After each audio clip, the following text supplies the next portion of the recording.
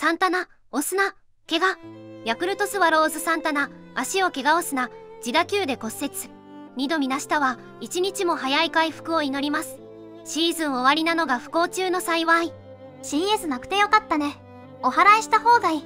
最後の最後でこれは、笑い。シーズン終わりでよかったなこれ。ついに本性を表したな。一瞬寝たかと思った。ゆっくり直してください。ありゃありゃ。はあ、まあ、今で本当に良かったと思う。来年は怪我人が出ないことを祈るだけです。来年どうなるんやこれこの二人いないとかなりきついぞ。おいおい、ポストシーズン大丈夫かよ、5位か6位かを争ってるんだった。最後の方でよかった。ああ、よくない。CS とかなくてよかったな煽りとかじゃなくて。最後の方やったのはせめてもの救いやな。ええちょっと衝撃なんだけど、押すなって昨日松葉杖ついてたやつ。さすがに不憫すぎて面白いチニドラの公認。決まったな。エマ落とした人監督やめてくださいマジで来年に影響でないといいけど。ご視聴ありがとうございました。